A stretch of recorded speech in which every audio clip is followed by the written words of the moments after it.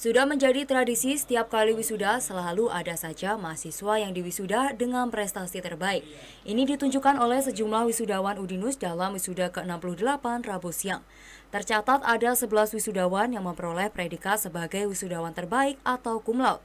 Di antaranya adalah Yuli Setianingsih yang kuliah di jurusan Teknik Industri Fakultas Teknik Udinus.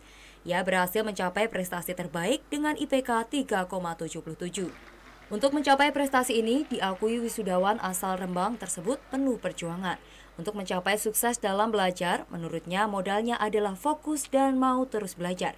Yuli menambahkan, kuliah di Udunus menurutnya menyenangkan karena dalam perkuliahan dosennya ramah dan sistem pembelajarannya juga menyenangkan dan mudah. Selama menempuh uh, pas saat ini nih rasanya bangga banget gitu bisa bisa mencapai titik seperti ini. Karena memang apa perjuangannya itu juga nggak mudah untuk bisa mencapai titik saat ini. Uh, begitu banyak apa proses yang harus dilalui untuk uh, bisa wisuda pada acara hari ini.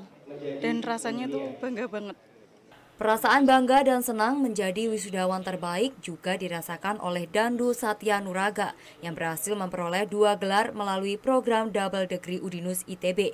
Ia yang mahasiswa ilmu komputer Udinus berhasil menyandang gelar sarjana komputer dari Udinus dan sarjana teknik dari ITB. Ia merasa beruntung dapat kesempatan kuliah di Udinus sehingga dapat juga kuliah di ITB. Eh, pertama saya juga uh, melakukan ini ya eh, kayak seleksi dulu di dalam di Udinus dan saya juga didukung 100% untuk Udinus untuk bisa uh, uh, seleksi di, di ITB dan di sana kami diseleksi dan kami akhirnya bisa untuk bis, dapat melakukan twin degree ya. Jadi kami juga mendapat sarjana Eskom di IT, di Udinus, di Udinus dan ST di ITB.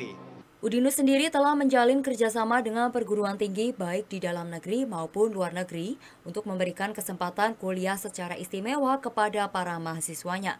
Di antaranya melalui program double degree, training program, sit-in program, credit transfer, dan lainnya yang dapat diambil para mahasiswanya sebagai kesempatan emas. Tutup Carita, Danang Prakosa, melaporkan.